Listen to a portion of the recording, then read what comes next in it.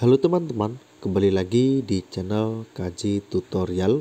Pada kesempatan kali ini, saya akan memberikan tutorial kepada kalian semua cara membuat gambar voice note di komentar Instagram. Oke, di sini perlu kalian ketahui maksud dari admin gambar voice note di komentar Instagram itu seperti ini. Oke. Dan di sini saya akan memberikan tutorial cara membuat gambar voice note di komentar Instagram terbaru. Sebelum admin memberikan tutorial ini, silakan kalian klik tombol subscribe terlebih dahulu agar supaya channel ini bisa berkembang. Oke, langsung saja kita menuju ke tutorialnya. Yang pertama di sini kita masih berada di menu utama handphone kita masing-masing. Dan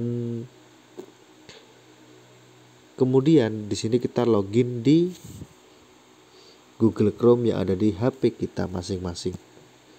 Kemudian di sini kita telusuri. Klik saja yaitu voice note emoji. Kemudian kita klik saja paling atas ya. Kalau sudah, di sini kita akan menemukan beberapa menu.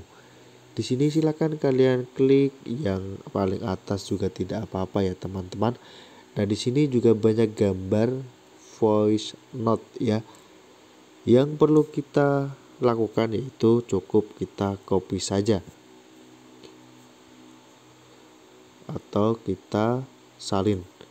Kita klik copy atau di sini kita juga bisa klik lama sampai ada warna biru ya Nah, seperti ini. Kemudian kita salin. Kalau sudah kita kembali ke menu utama.